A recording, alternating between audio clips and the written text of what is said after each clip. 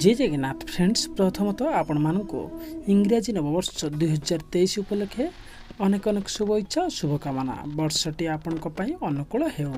ଆପଣଙ୍କ ମନରେ ଥିବା ସମସ୍ତ ଇଚ୍ଛା ଅଭିଳାଷ ଏ ବର୍ଷରେ ପରିପୂର୍ଣ୍ଣ ହେଉ। ଆପଣ ନିରୋଗ ରୁହନ୍ତୁ ସୁସ୍ଥ ରୁହନ୍ତୁ ଏବଂ ପ୍ରତ୍ୟେକଟି କାର୍ଯ୍ୟକ୍ଷେତ୍ରରେ ଆପଣ ବିଜୟ ଲାଭ କରନ୍ତୁ। ଫ୍ରେଣ୍ଡସ୍ ଇଂରାଜୀ ନବବର୍ଷ ଦୁଇହଜାର ତେଇଶ ମସିହାରେ ବୃଷ ରାଶିର ବ୍ୟକ୍ତିବିଶେଷମାନଙ୍କ ପାଇଁ କିପରି ଫଳ ପ୍ରଦାନ କରିବ?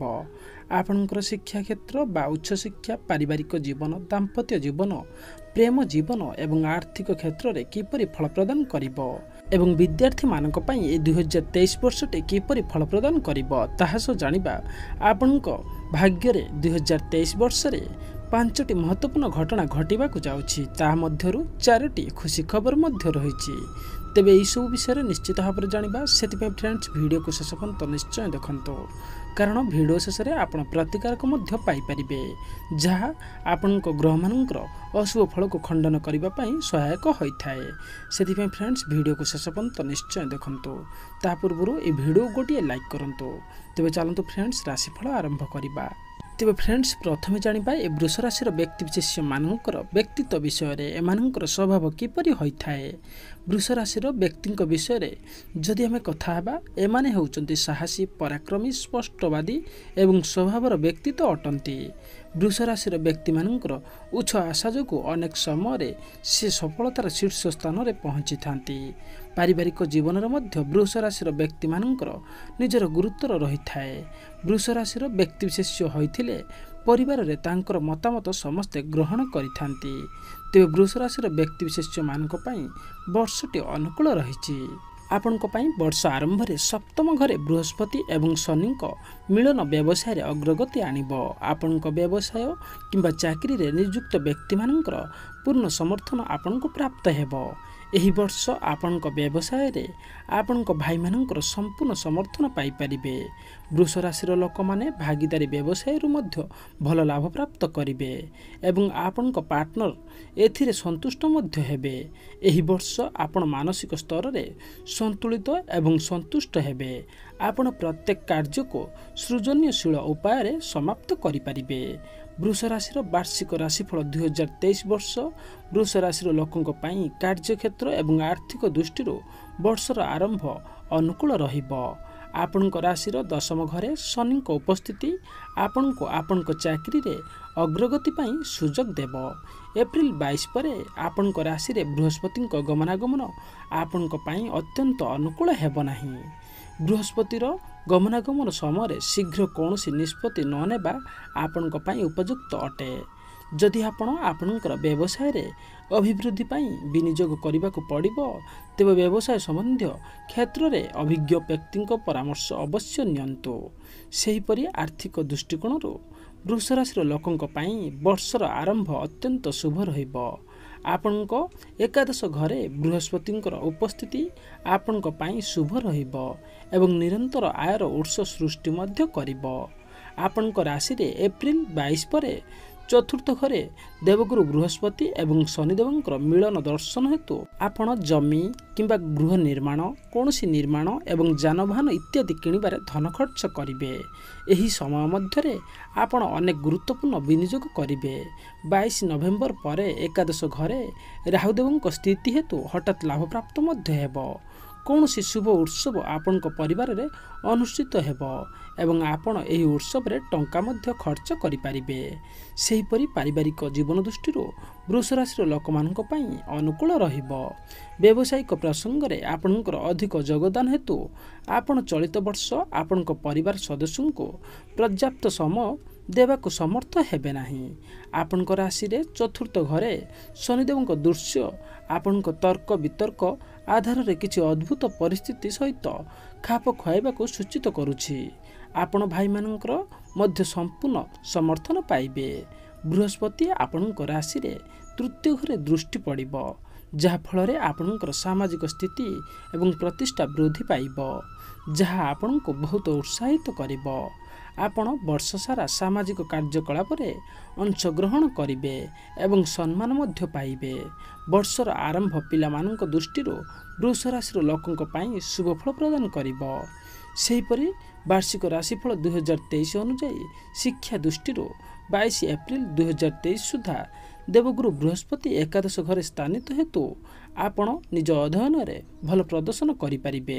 କିନ୍ତୁ ଶନିଦେବ ଦଶମ ଘରେ ଦୃଷ୍ଟି ଭାବରେ ରହିବେ ଏବଂ ଏହାର ଦୃଷ୍ଟି ରଖିବେ ଆପଣଙ୍କ ଚତୁର୍ଥ ଘରେ। ଏଭଳି ପରିସ୍ଥିତିରେ ଆପଣଙ୍କ ମନ ଆପଣଙ୍କ ଅଧ୍ୟୟନରେ କମ୍ ରହିବ। ପାଠପଢ଼ାରେ ମନ ଲାଗିବ ନାହିଁ। ବିଦ୍ୟାର୍ଥୀମାନେ ଏହି ସମୟରେ କିଛି ସମସ୍ୟାର ସମ୍ମୁଖୀନ ମଧ୍ୟ ହୋଇପାରନ୍ତି ପରେ ପିଲାମାନଙ୍କ ଘରେ ବୃହସ୍ପତିଙ୍କ ଦର୍ଶନର ପ୍ରଭାବ ଯୋଗୁଁ ଆପଣଙ୍କ ପିଲାମାନେ ସଫଳତାର ସିଡ଼ି ଉପରକୁ ଯିବେ ଏହି ବର୍ଷ ଆପଣଙ୍କ ପିଲାମାନଙ୍କର ଶିକ୍ଷା କ୍ଷେତ୍ରରେ ଉନ୍ନତି ହେବ ଏବଂ ସେମାନେ ଭବିଷ୍ୟତରେ ପ୍ରଗତି ପାଇଁ ସୁଯୋଗର ଲାଭ ଉଠାଇବେ ଏପ୍ରିଲ ବାଇଶ ପରେ ସେମାନଙ୍କର କାର୍ଯ୍ୟକଳା ଟିକେ ପ୍ରଭାବିତ ହୋଇପାରେ ତେଣୁ ସେହି ସମୟରେ ଆପଣଙ୍କ ପିଲାମାନଙ୍କ ପ୍ରତି ବିଶେଷ ଧ୍ୟାନ ଦିଅନ୍ତୁ କିନ୍ତୁ ଶନିଦେବ ସତର ଜୁନରୁ ଚାରି ନଭେମ୍ବର ଦୁଇହଜାର ତେଇଶ ପର୍ଯ୍ୟନ୍ତ ଏହି ସମୟକୁ ଛାଡ଼ିଦେଲେ ବାକି ବର୍ଷ ଆପଣଙ୍କ ଅଧ୍ୟୟନରେ ଦୃଷ୍ଟିରୁ ଭଲ ରହିବ। ସେହିପରି ପ୍ରେମ ଏବଂ ବିବାହ ଜୀବନ ଦୃଷ୍ଟିରୁ ଏହି ବର୍ଷ ଆପଣଙ୍କ ପାଇଁ ଗମ୍ଭୀର ପ୍ରତିବନ୍ଧ ସମ୍ପର୍କକୁ ଆସିବା ପରିବର୍ତ୍ତେ ବନ୍ଧୁତା ଗଢ଼ିବାକୁ ପସନ୍ଦ କରିବେ। ଏହି ବର୍ଷ ଆପଣ ନିଜ ପ୍ରେମ ଜୀବନକୁ ନିୟନ୍ତ୍ରଣ ଏବଂ ଉନ୍ନତ କରିପାରିବେ। ଯେଉଁମାନେ ଚଳିତ ବର୍ଷ ଅବିବାହିତା ଅଛନ୍ତି ସେମାନେ ବନ୍ଧା ହେବାକୁ ମଧ୍ୟ ଇଚ୍ଛା କରିବେ ନାହିଁ ଏବଂ ବିବାହିତା ଲୋକମାନେ ସେମାନଙ୍କର ସ୍ଥିତି ସୁଦୃଢ଼ କରିବେ। ସାଧାରଣତଃ ଆପଣଙ୍କ ସାମାଜିକ ଜୀବନ ପୂର୍ବ ବର୍ଷ ତୁଳନାରେ ଚଳିତ ବର୍ଷ ଅଧିକ ସ୍ଥିର ହେବାକୁ ଯାଉଛି। ଯଦିଓ ଚଳିତ ବର୍ଷ ଅବିବାହିତାଙ୍କ ପାଇଁ ବିବାହ ଘଣ୍ଟି ବାଜୁନଥିଲା ତଥାପି ସେମାନେ ବର୍ଷର ଅଧିକାଂଶ ସମୟ ପ୍ରେମ ପାଇଁ ଅନେକ ସୁଯୋଗ ପାଇପାରିବେ। କିନ୍ତୁ ଏହି ସୁଯୋଗ ଆପଣଙ୍କ ଜୀବନରେ ଏକ ମଜାଦାର ଖେଳ ଆକାରରେ ଆସିବ ଏବଂ ଏହା ଅତ୍ୟନ୍ତ ଶୁଭ ରହିବ। କିନ୍ତୁ ଆପଣ ଏହାକୁ ଅତି ଗମ୍ଭୀରତାର ସହିତ ସମୟକୁ ଉପଭୋଗ କରିବାର ସୁଯୋଗ ଭାବରେ ଗ୍ରହଣ କରିବା ଉଚିତ ଅଟେ। ବୃଷ ରାଶିର ଲୋକମାନେ ମଧ୍ୟ ଚଳିତ ବର୍ଷ ବାହ୍ୟ ପ୍ରେମ ସମ୍ପର୍କ ଆଧାରରେ ସେମାନଙ୍କର ଦାମ୍ପତ୍ୟ ଜୀବନକୁ ପରୀକ୍ଷା କରିବାକୁ ଚେଷ୍ଟା ମଧ୍ୟ କରିବେ। ଏହାର ଅର୍ଥ ନୁହେଁ ଯେ ଆପଣ କିମ୍ବା ଆପଣଙ୍କ ଜୀବନସାଥୀ ବିବାହ ସମ୍ବନ୍ଧରେ ଅବିଶ୍ୱାସୀ ହେବେ। ଏହା ଏକ ଘଟଣା ହେବ ଯେତେବେଳେ ଆପଣ ପରସ୍ପର ଉପରେ ବିଶ୍ୱାସ ରଖିବେ। ସେହିପରି ସ୍ୱାସ୍ଥ୍ୟ ଦୃଷ୍ଟିରୁ ଦୁଇହଜାର ତେଇଶ ବର୍ଷଟି ଆରମ୍ଭ ସମୟ ବୃଷ ରାଶିର ବ୍ୟକ୍ତିଙ୍କ ପାଇଁ ଅତ୍ୟନ୍ତ ଶୁଭ ରହିବ। ଯଦି ଆପଣ ପୂର୍ବରୁ କୌଣସି ରୋଗରେ ପୀଡ଼ିତ ନୁହନ୍ତି ତେବେ ବର୍ଷ ଆରମ୍ଭରେ ଆପଣ ଆପଣଙ୍କର ଉତ୍ତମ ସ୍ୱାସ୍ଥ୍ୟକୁ ପୂର୍ଣ୍ଣ ଉପଭୋଗ କରିପାରିବେ। ଏପ୍ରିଲ ବାଇଶ ପରେ ବୃହସ୍ପତି ଦ୍ୱାଦଶ ଘରେ ଗମନାଗମନ କରିବେ ସେହି ସମୟରେ କୌଣସି ସାମାନ୍ୟ ସ୍ୱାସ୍ଥ୍ୟଜନିତ ସମସ୍ୟା ଦେଖାଦେଇପାରେ ରାହୁ ଏବଂ ବୃହସ୍ପତିଙ୍କ ମିଳନ ହେତୁ ଆପଣଙ୍କୁ ହଜମ ସମ୍ବନ୍ଧୀୟ ସମସ୍ୟାର ସାମ୍ନା କରିବାକୁ ପଡ଼ିପାରେ। ଏଭଳି ପରିସ୍ଥିତିରେ ସ୍ୱାସ୍ଥ୍ୟର ବିଶେଷ ଯତ୍ନ ନେବା ଅତ୍ୟନ୍ତ ଜରୁରୀ ଅଟେ। ସକାଳେ ବ୍ୟାୟାମ କରିବା ଏବଂ ଯୋଗ ଅଭ୍ୟାସ କରିବା ଆପଣଙ୍କ ସ୍ୱାସ୍ଥ୍ୟ ପାଇଁ ଏକ ସହାୟକ ହେବ। ତେବେ ଫ୍ରେଣ୍ଡସ୍ ଏବେ ଆସନ୍ତୁ ଜାଣିବା କେଉଁ ପାଞ୍ଚଟି ମହତ୍ତ୍ୱପୂର୍ଣ୍ଣ ଘଟଣା ଏହି ଦୁଇହଜାର ତେଇଶ ବର୍ଷରେ ଆପଣଙ୍କ ଭାଗ୍ୟରେ ଘଟିବାକୁ ଯାଉଛି। ଯାହା ସତ୍ୟ ହେବାର ଅଛି ଏବଂ ସେହି ପାଞ୍ଚଟି ଘଟଣା ମଧ୍ୟରୁ ଚାରୋଟି ଖୁସି ଖବର ଆପଣଙ୍କୁ ମିଳିବାକୁ ଯାଉଛି। ଫ୍ରେଣ୍ଡସ୍ ବର୍ଷ ଦୁଇହଜାର ତେଇଶରେ ଚାରୋଟି ବଡ଼ ଗ୍ରହ ରାଶି ପରିବର୍ତ୍ତନ କରିବେ। ଯାହାଫଳରେ ସର୍ବପ୍ରଥମ ମହତ୍ତ୍ୱପୂର୍ଣ୍ଣ ଘଟଣାଟି ହେଉଛି ଭଗବାନ ଶନିଦେବ ଆପଣଙ୍କ ଦଶମ ଘରେ ଅବସ୍ଥାନ ହେତୁ ରାଜଯୋଗ ସୃଷ୍ଟି କରିବେ। ସତର ଜାନୁଆରୀ ପରେ ଯେବେ ଦଶମ ଭାଗକୁ ଶନିଦେବ ଆସିବେ ତ ସତର ଜାନୁଆରୀ ପରେ ଚାକିରି ମିଳିବାର ବହୁତ ସମ୍ଭାବନା ଅଛି ଏବଂ ଏହି ସମୟ ଆପଣଙ୍କ ପାଇଁ ବହୁତ ହିଁ ଶୁଭ ରହିଛି।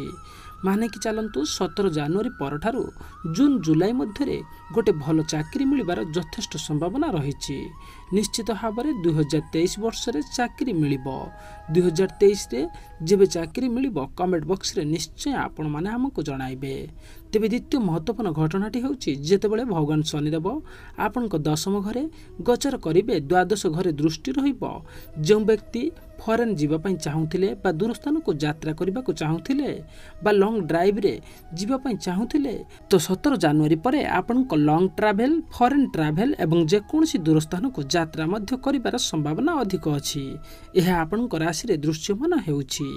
ତେବେ ତୃତୀୟ ମହତ୍ତ୍ୱପୂର୍ଣ୍ଣ ଘଟଣାଟି ହେଉଛି ଯେଉଁ ବ୍ୟକ୍ତି ବହୁତ ସମୟରେ ଭାବୁଥିଲେ ଯେ ବିବାହ କେବେ ହେବ ବିବାହ କାହିଁକି ହେଉନାହିଁ ଘରର ସଦସ୍ୟମାନେ ମଧ୍ୟ ବହୁତ ସମୟରେ ବିବାହ କରିବାକୁ ଚାହୁଁଥିଲେ ମଧ୍ୟ ହୋଇପାରୁନଥିଲା।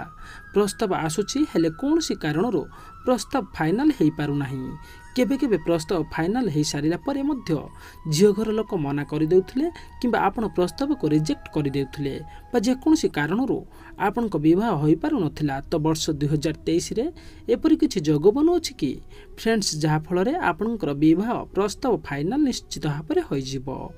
କେମିତି? ଶନିଦେବଙ୍କର ସପ୍ତମ ଘରେ ଦୃଷ୍ଟି ରହିବ। ଏହା ସହ ଦେବଗୁରୁ ବୃହସ୍ପତି ଆପଣଙ୍କ ଦ୍ୱାଦଶ ଘରକୁ ଟ୍ରାଞ୍ଜେକ୍ଟ କରିବେ ଏବଂ ଦ୍ୱାଦଶ ଘରକୁ ଶୁଭ ମାନାଯାଏ ଯାହାଫଳରେ ଆପଣଙ୍କର ବିବାହ ସୁନିଶ୍ଚିତ ହେବ।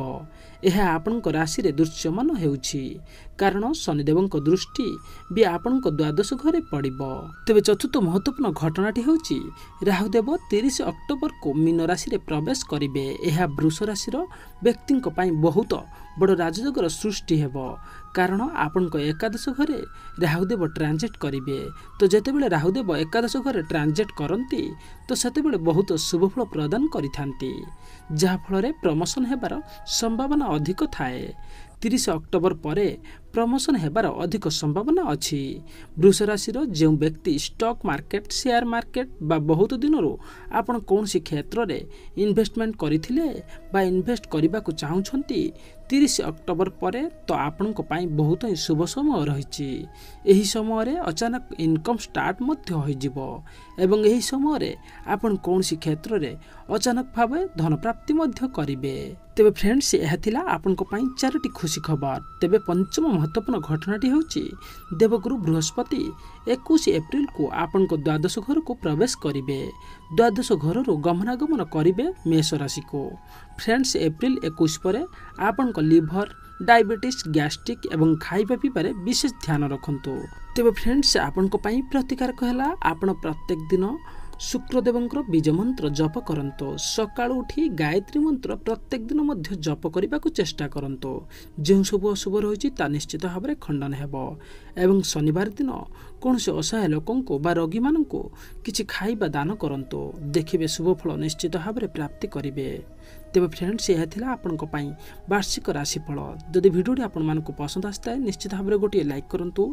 ଆଉ ଏହି ଭିଡ଼ିଓକୁ ଆପଣଙ୍କ ସାଙ୍ଗମାନଙ୍କ ପରିଜନଙ୍କ ସହ ବହୁତ ମାତ୍ରାରେ ସେୟାର ମଧ୍ୟ କରନ୍ତୁ ଏବଂ କମେଣ୍ଟ ବକ୍ସରେ ଆପଣଙ୍କର ଇଷ୍ଟଦେବଙ୍କ ନାମ ନିଶ୍ଚୟ ଲେଖନ୍ତୁ। ପ୍ରଭୁଙ୍କ କୃପା ହେଲେ ଆପଣଙ୍କ ଜୀବନର ପ୍ରତ୍ୟେକଟି ଦୁଃଖ କଷ୍ଟ ନିଶ୍ଚୟ ଦୂର ହେବ। ତେବେ ଫ୍ରେଣ୍ଡସ୍ ଭିଡ଼ିଓଟି ଦେଖିଥିବାରୁ ଧନ୍ୟବାଦ।